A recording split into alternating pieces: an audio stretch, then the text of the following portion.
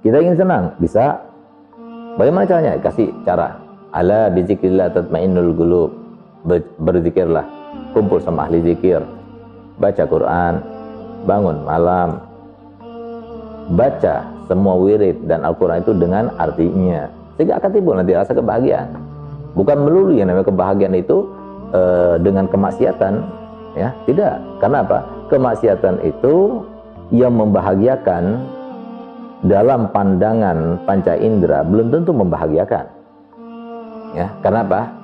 Innamal hayatud dunya uh, innamal hayatud dunya mataul ghurur. Jadi suatu kesenangan tapi menipu.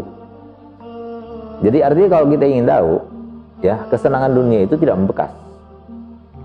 Artinya mataul ghurur itu kesenangan dunia itu tidak membekas. Tapi yang ada itu adalah kalau kita banding-bandingkan antara kesenangannya dengan e, tidak nyamannya, tidak senangnya, itu lebih banyak tidak senangnya. Itu yang terjadi. Nah, oleh karena itu, maka di sini kita harus kembali pada kita dengan cara berpikir positif. Kita mau senang hidup atau tidak?